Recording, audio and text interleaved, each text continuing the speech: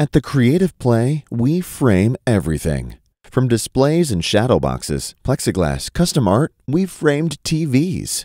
We love sports memorabilia. The Angels, Ducks, Lakers, 49ers. We've framed every team's jersey, hockey pucks, foul balls, and footballs galore.